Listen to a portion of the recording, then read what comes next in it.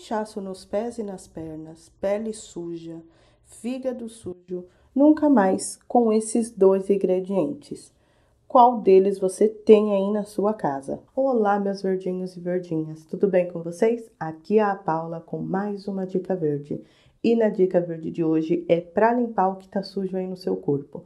A pele com aspecto de sujo, os, o fígado e o inchaço também, que muita gente não sabe, mas o inchaço é o acúmulo de sujeira no seu corpo.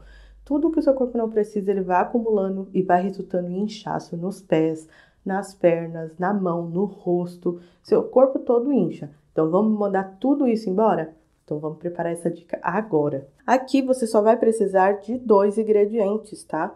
Não é muita coisa, então é muito fácil de fazer, ó.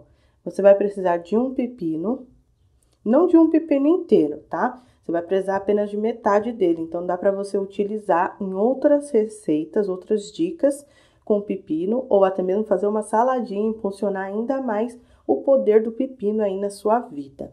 Aqui, ó, eu tenho também um quarto de mamão. Isso daqui é uma mamão formosa, mas você pode utilizar o papaya também.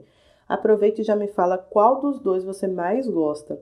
O Formosa ele é mais perfumado, né? E ele não tem um sabor tão doce quanto o papaya, mas eu acho que fica muito saboroso no suco também. Pode usar qualquer um dos dois. Aqui a gente também não vai tirar a semente, tá? Para fazer o suco. Essa semente ela pode sim consumir, tanto no formato de chá ou no suco mesmo. Coloca para bater tudo junto. E aí se transforma em outro ingrediente.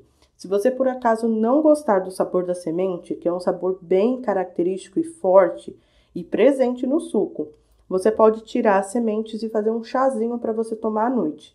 Aqui no canal já tem vídeo ensinando a fazer o chá com as sementes de mamão e todos os benefícios que você vai obter a partir do primeiro dia que começar a usar. Então, faz alguma coisa, mas não joga fora as sementes, tá? E eu só vou tirar a casca do mamão. O mamão, além de ter beta-caroteno que ajuda a cuidar da pele e dos olhos, ele ajuda também a manter o nosso sistema de defesa mais forte. E ele também estimula ali a eliminação de resíduos no nosso intestino. Caso a pessoa esteja um pouco constipada, o intestino um pouco preso, então já vai ajudar também se você consumir o mamão diariamente. O pepino a gente vai utilizar a casca com semente e tudo. Pepino a gente vai utilizar 100%. Só vamos utilizar metade dele mesmo, como eu falei, tá? Mas o pepino, ele tem muita água. Essa água ajuda muito o trânsito intestinal, ajuda a cuidar da nossa saúde estomacal também. Muita gente comenta que fica arrotando e o pepino o dia inteiro quando consome ele, né? Mas é porque ele fica no nosso estômago, né? Por bastante tempo, impedindo ali que cause algum dano. Ele cria uma barreira protetora e às vezes em algumas pessoas pode ter esse efeito e dá a sensação de que não fez a digestão direito, mas ele está fazendo o trabalho dele lá no seu estômago. Então não se importe tanto assim com isso não, tá? Que o sabor dele é incrível. Outra coisa também que o pepino pode ajudar é estimular a limpeza do nosso corpo e a eliminação do excesso de líquido nele. Ele ajuda a combater o inchaço da maneira mais perfeita. Sabe por quê? Porque ele tira todo o líquido que está em excesso no nosso corpo, junto com sódio, com gordura e tudo que não presta. Então ele faz uma limpeza completa. Nosso corpo também precisa de faxina. E esse daqui, ó, é um excelente ingrediente para a gente fazer uma faxina boa no nosso organismo. Então agora eu vou preparar aqui os ingredientes que não estão 100% prontos. Me aguardem. Pronto, ó. Já parti todo o pepino, como eu falei para vocês, eu não tirei a casca. Se vocês tiram a casca do pepino, faz um esforcinho para consumir ele com casca, porque é a fibra dele que você está jogando fora quando você tira a casca. E isso não é legal. A semente do pepino também é legal a gente consumir porque ela tem um composto que pode ajudar muito a reduzir os níveis de colesterol alto no nosso organismo. Então, ó, outra coisa legal que a gente também tem que aproveitar.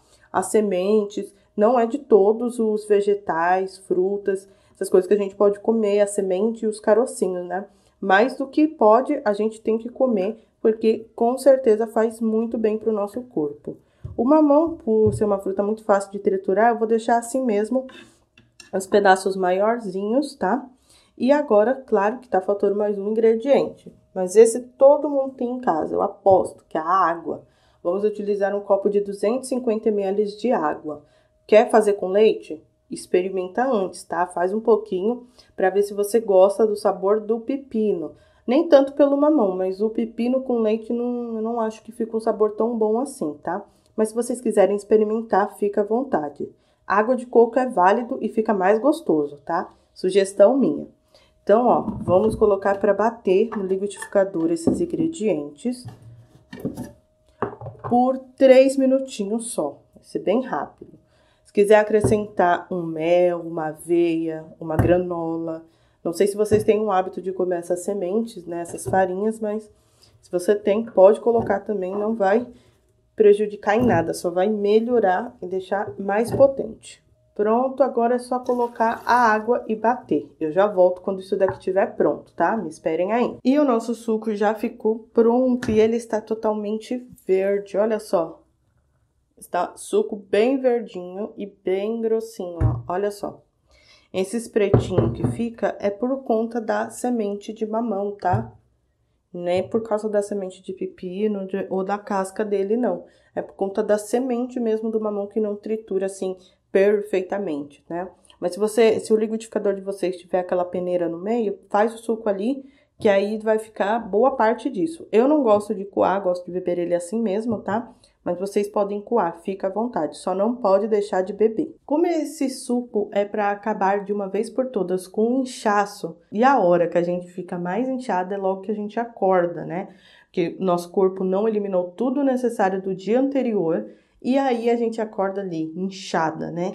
Com, as pé, com os pés, com a mão, às vezes o chinelo tá até marcando ali o pé de tão inchado que tá. Então, o melhor é você consumir logo pela manhã para ele já ir fazendo a limpeza no seu corpo. Provavelmente você vai bastante no banheiro, então se prepara, tá? E você já vai ver muita melhora no final do dia, já vai se sentir menos inchada. Não esquece de deixar sugestões de vídeo também e comentar com emoji de mamão. Tô sempre de olho nos comentários e é muito importante você deixar o seu, tá? Quero pedir uns favorzinhos para vocês. Eu sei que você já deve estar tá cansado de ouvir, mas vale a pena lembrar porque ainda tem gente esquecendo. Deixa o seu like logo no começo do vídeo. De... se não deixou no começo, deixa agora o seu like. Se você é novo por aqui, se inscreva no canal, ativa o sininho também para receber as notificações dos vídeos novos. E é claro, compartilhe essa dica com todo mundo que você gosta, tá? Quero agradecer todo mundo que ficou comigo até o final do vídeo por já terem deixado o seu like e até amanhã com mais uma dica nova. Um grande beijo e um forte abraço para todos vocês. Tchau!